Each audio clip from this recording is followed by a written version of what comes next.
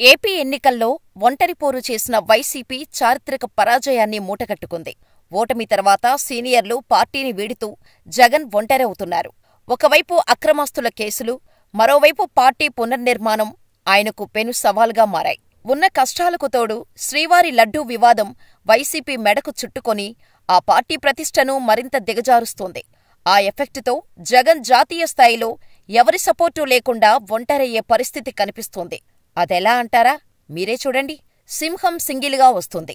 ఆ cinema డైలాగ్ని YCP అధ్యక్షుడు జగన్ సైన్యం పదే పదే రిపీట్ చేస్తుంటోంది. ప్రస్తుత పరిస్థితులు చూస్తుంటే జగన్ నిజంగానే ఒంటరైపోతున్నట్టు కనిపిస్తోంది. రాష్ట్రంలో సీనియర్లు ఒకరికొకరుగా గుడ్బై చెబుతుండటంతో జగన్కు సీనియర్ పొలిటీషియన్లు కరువై సలహాదారులే మిగులుతున్నారన్న అభిప్రాయం వ్యక్తమవుతోంది. అటు జాతీయ స్థాయిలోనూ ఇప్పుడున్న పరిస్థితుల్లో జగన్ను సపోర్ట్ చేసే పార్టీ కనిపించటం లేదు. రాష్ట్రంలో శాంతి భద్రతలు క్షీణించిపోతున్నాయని ఆరోపిస్తూ జగన్ ఢిల్లీ వెళ్ళి ధర్నా చేశారు. అప్పుడాయనకు ఇండియా కూటమిలోని పెద్ద పార్టీలేవీ మద్దతు పలకలేదు. జగన్కు కేంద్రంలో ఎన్డీఏ కూటమి డోర్లు ఫ్రీజ్ అయిపోయిన పరిస్థితుల్లో ఆయన అప్పట్లో ఇండియా కూటమి తనకు మద్దతిస్తుందని భావించారు. అయితే అది జరగలేదు. తాజాగా వైసీపీ శ్రీవారి లడ్డూలో కల్తీనేయి వ్యవహారానికి సంబంధించి ఉక్కిరిబిక్కిరి అవుతోంది. జగన్ ప్రభుత్వ హయాంలో జరిగిన ఆ మహాపరాధంపై హిందూ సమాజమంతా భగ్గుమంటోంది. దాన్ని డిఫెండ్ చేసుకోటానికి వైసీపీ నానా పాట్లు పడుతోంది.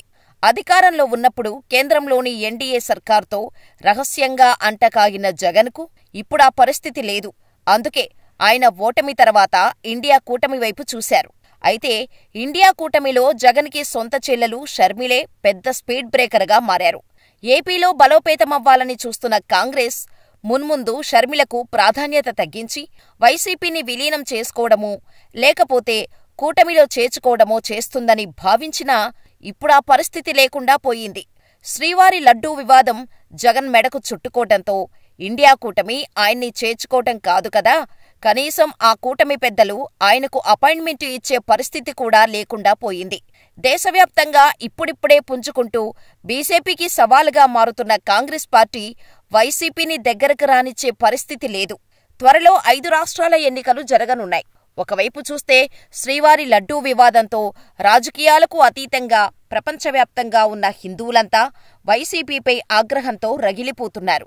ఇలాంటి పరిస్థితుల్లో కాంగ్రెస్ వైసీపీ షేక్ హ్యాండ్ ఇస్తే ఏం జరుగుతుందో ఆ పార్టీకి తెలియంది కాదు.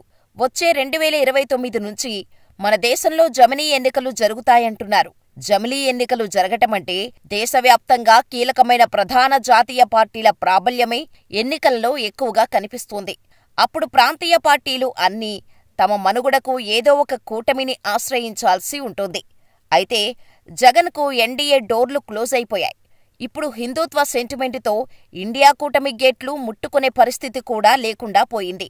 ఓవరాల్గా వైసీపీ సింగిల్గా మిగిలిపోవటం ఖాయమైంది.